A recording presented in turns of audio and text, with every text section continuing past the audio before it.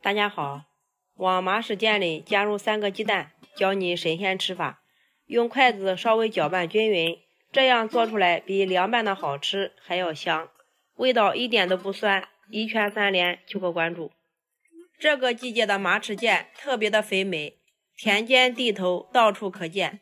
以前我们吃它是因为家里穷，现在都吃它为了养生。懂它的都当它是宝。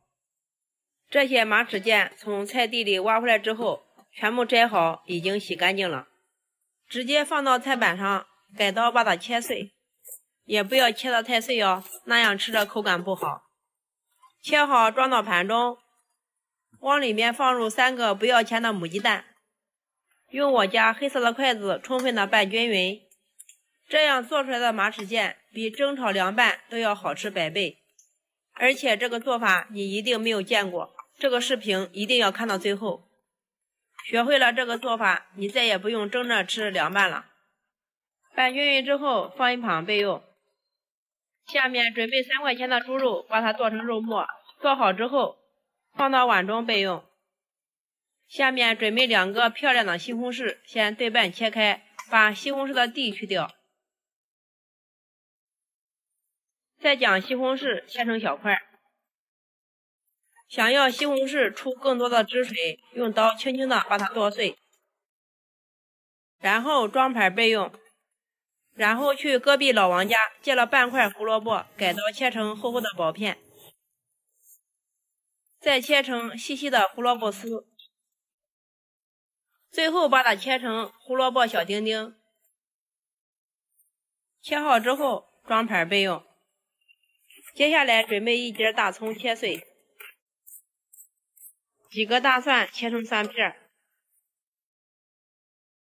几片姜，最后切成姜末。能吃辣的，再准备两个红辣椒，剪成段儿，切好装入小碗中。然后小碗里面倒入半勺玉米淀粉，适量的生抽，少许的蚝油，适量的盐，适量的鸡粉，适量的调味料。倒入半碗凉水，充分的把调料搅拌均匀，放一旁备用。起锅倒油，再把鸡蛋、马齿苋倒进来，用铲子把它铺均匀、摊平。铺均匀之后，把底面煎至定型，把锅端起来晃动一下，使其更加的受热均匀，把底面煎至金黄。底面煎到差不多的时候，迅速把它翻个面儿，哇，金黄漂亮。把另一面也煎至金黄，一直把两面都煎至像这样金黄就可以了。把煎好的鸡蛋饼倒在黑色的盘中备用。大家看一下这个马齿苋，颜色鲜绿。另起锅倒入少许的底油，把肉末放进来，炒拌均匀，把肉末炒出香味儿。炒好以后，把小料放进来，再炒出小料的香味儿，把西红柿放进来。炒拌均匀，把西红柿炒出沙，这样做出来的美食更加的入味。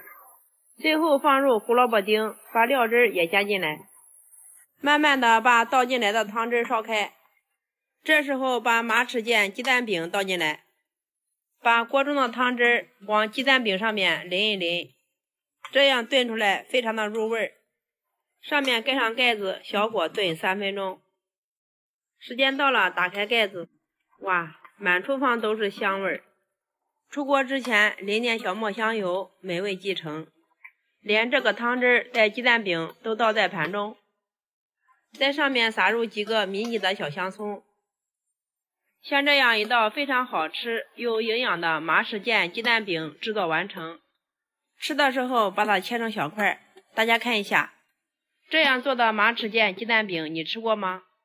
鸡蛋鲜香嫩滑。马齿苋清香美味，里面添加了肉末、胡萝卜，营养均衡。这道菜特别适合用来拌米饭，连汤汁都不剩，就连家里有挑食的孩子也要着吃。喜欢的朋友赶紧收藏起来，做给家人尝尝。用简单的食材做出不一样的味道，最关键好吃还不上火。